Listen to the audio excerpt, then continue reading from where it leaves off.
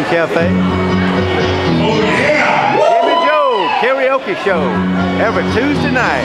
Let's take those